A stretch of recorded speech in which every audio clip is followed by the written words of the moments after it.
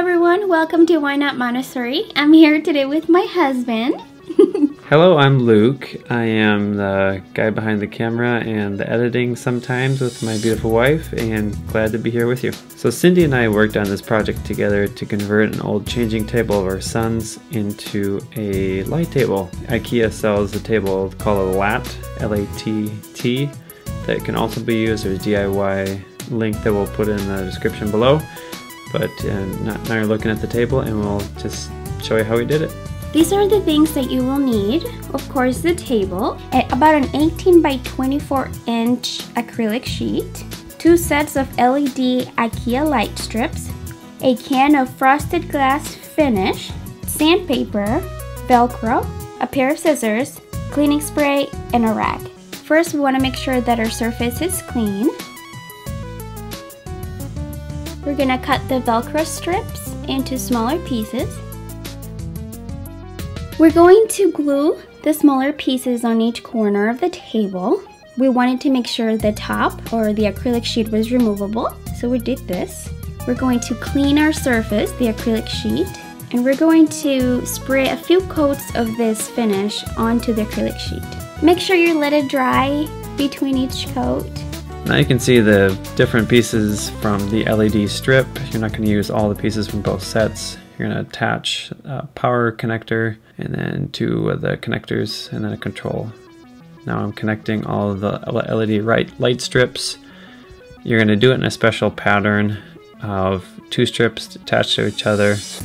Then you do two um, corner pieces that are flexible, one more strip, and then another corner flexible piece, and then the last strip. And then we'll show you how to mount them later. Now we want the side that was sprayed on to be faced down and we're going to take the rest of our velcro pieces and attach them to each corner. Attach the acrylic sheet to the velcro. Now we took it inside and we started to mount the brackets on the inside of the table. These brackets hold your LED light strips. Um, usually two brackets per light strip. Um, this is this particular wood was hard wood. Um, these little screws do not go in, so I had to use a whole lot of force, otherwise I would strip them out. So take that into mind, whatever wood you mount. Um, I will say you have to have one set of four LEDs mounted higher and one set mounted lower because there will be some overlap as you'll see.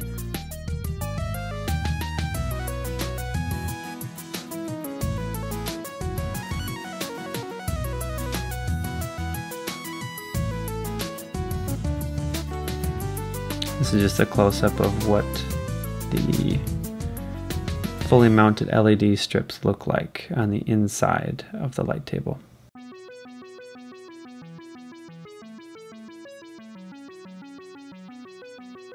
Now we just take our power drill, make a hole in the bottom, um, however you can do it, just wide enough to fit the power connector.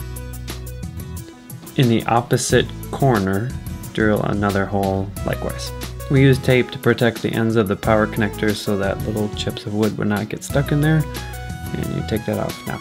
Takes a little bit of finagling, but you can get the power connector plugged into both sets of LED strips. And again, we only use one power box for the two sets of strips. Here I'm using the rest of our Velcro pieces and hot gluing them onto the back of the controller of the LED lights. Now I'm attaching the controller onto the side of the table. I also made sure to use hot glue, zip ties, and tape to secure all the cables underneath the table.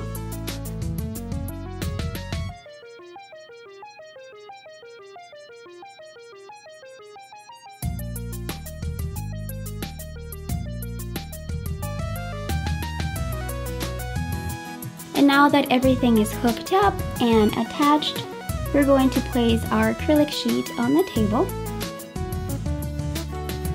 And now you're all done.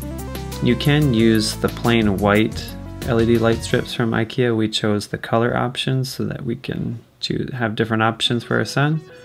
But you can do it however you like. And as you can see, it's a lot of fun with geometric solids. You can follow me on Pinterest where I have a board just on light table activities. My name is, just search for Why Not Montessori. I would love to answer any questions that you may have. Make sure you share this video, like it, and subscribe to my channel uh, if you want to see more videos from us. Thank you and have a great day.